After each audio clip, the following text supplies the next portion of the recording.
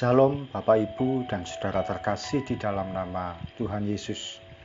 Di mana pun Anda berada dan di mana pun Anda bisa mendengar rekaman ini Kita bertemu dalam program Saat Teduh 5 Menit untuk edisi hari ini. Sebagai dasar kebenaran firman Tuhan Saya akan bacakan dari Amsal 29 ayat 18 Firman Tuhan berkata, Bila tidak ada wahyu, menjadi liarlah rakyat. Berbahagialah orang yang berpegang pada hukum. Sahabat Kristus, firman Tuhan dalam kitab Amsal ini memiliki pengertian ketika seseorang tidak hidup dalam kendali firman Tuhan, maka hidupnya akan menjadi liar. Ketika seseorang tidak hidup di dalam pengenalan akan Tuhan, maka hidupnya akan menjadi kacau Betapa banyak saat ini anak-anak Tuhan yang hidup semaunya sendiri tanpa mau mengikuti ketetapan firman Tuhan.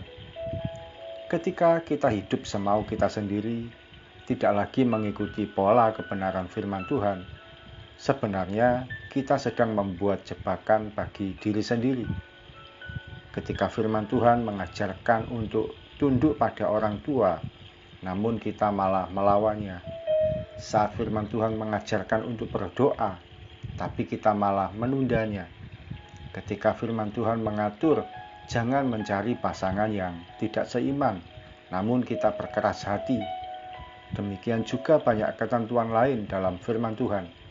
Ketika kita tahu namun melanggarnya, maka hidup kita pun akan menjadi liar. Sahabat Kristus, kata liar artinya hidupnya sembarangan, tidak bisa diatur dan semaunya sendiri. Orang yang hidupnya liar akan berkata, "Ini hidupku sendiri, pilihanku sendiri, urusanku sendiri, semua yang menjalani aku sendiri." Seperti kuda yang tidak lagi bisa dikendalikan. Akibatnya tentu akan celaka dan menabrak sana-sini, sehingga mengakibatkan kerusakan yang besar dalam hidupnya. Namun firman Tuhan mengatakan orang yang berpegang pada hukum, yaitu kebenaran firman Tuhan, hidupnya akan berbahagia. Kata berbahagia artinya diberkati atau aman dalam lindungan Tuhan. Supaya hidup kita aman dan penuh damai sejahtera, milikilah kehidupan yang taat pada kebenaran firman Tuhan, tanpa sekalipun kita membantahnya.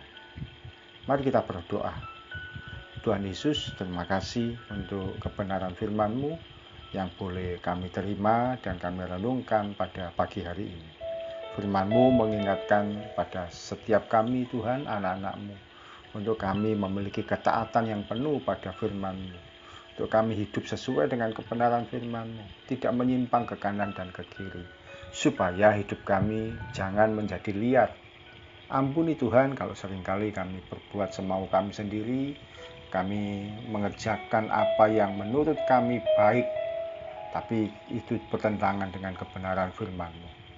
Hari ini kami mau selaraskan hati kami, pikiran kami, perkataan kami, mata kami, dan seluruh yang ada pada diri kami sesuai dengan kebenaran firman Tuhan.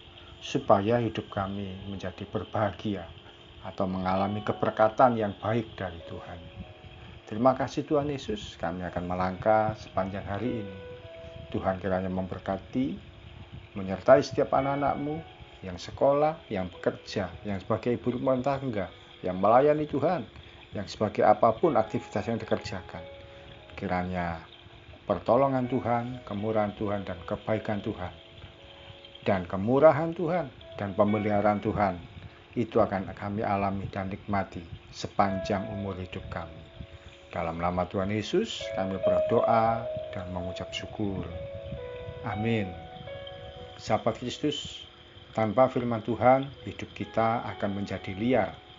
Namun taat pada firman Tuhan mendatangkan berkat dan damai sejahtera. Salam dari saya Pendeta Oki Raharjo dari Mitzvah Ministry. Tetap setia sampai garis. Tuhan Yesus memberkati.